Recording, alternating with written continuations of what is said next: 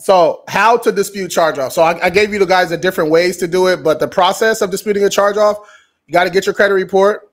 All right. If you guys need your credit report, just hit the link in my bio. Scroll to the bottom. It says get your FICO score for a dollar. All right. After that, we're going to go on there. We're going to find inaccuracies. If you don't know how to do that, I'll show you how to do it for free. All right. Uh, the how to guides, when you hit the link in my bio, it says how to guides. The how to guides, they literally walk you through each step of disputing. Okay.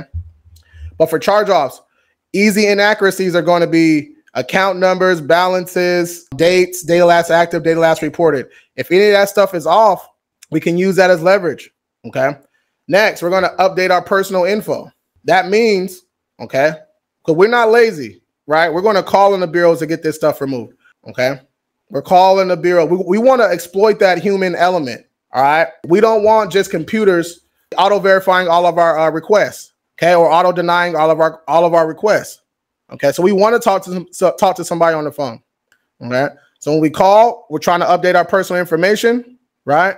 And we're also getting inquiries off that's not attached to open accounts, right? On the same phone call.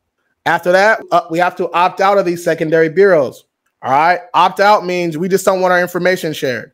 Okay, that takes a little bit of time to kick in all right, but you want to do it um, as soon as you start uh, uh, uh, uh, start the process of fixing your credit. So all all you do is let's use LexisNexis for for an example. You type in LexisNexis opt out, press enter. It's going to be the first link. Type in ARS opt out, Clarity Services opt out, SageStream opt out, CoreLogic opt out, ChexSystems opt out, opt out. ChexSystems is a little bit different, honestly. Early warnings is a little bit different too, but you guys get you guys get the gist. Okay.